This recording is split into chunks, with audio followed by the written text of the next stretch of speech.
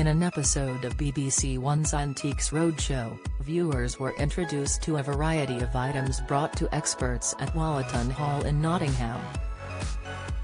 Two sisters brought along a hand-painted teapot that had been in their family for as long as they could remember, and were interested in seeing how much the item could be worth. It was, however, the item's unusual history that left the guests speechless. Will Farmer stunned guests with the backstory of a teapot dating back to the 1920s. The auctioneer, who has a passion for 20th-century ceramics, could not contain his excitement as he revealed the historic origins of the rare item. Belonging to their late mum, the guests admitted they were unaware of the family ornament's history. Speaking to the expert, the guest said, It belonged to our mum and it was always there as an ornament in our house, it wasn't used, but it was kept on the shelf. When asked if they had a name for the teapot, the guests laughed and told Will, we just called it the Fat Lady. The teapot, which was painted to look like a lady wearing an apron, was however revealed to have a different name entirely. Proceeded to inspect the item further, before revealing the real name for the collectible, you called it the Fat Lady? He asked the guests. He continued, let me erase all of your life memories with this teapot because I would like to introduce you to Bones the Butcher. The guests were noticeably excited to learn more about their family's sentimental piece, while Will continued to draw out their intrigue.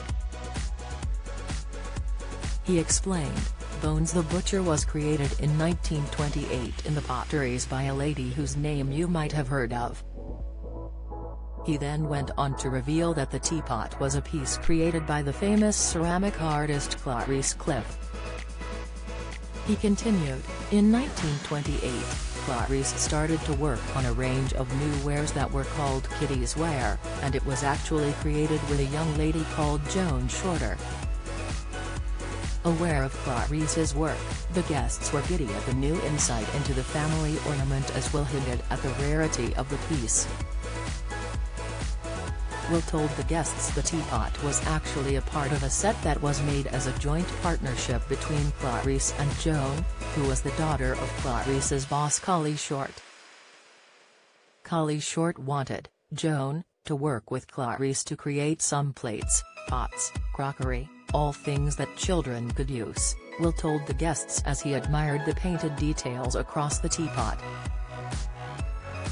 But it seemed like this particular teapot fell through the net, and didn't carry, Clarice's, name making it rare.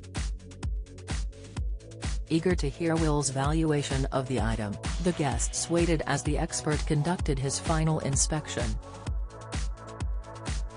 So we've got to look at the value and there is a little hairline crack just there at the top of the handle, Will admitted to the sisters.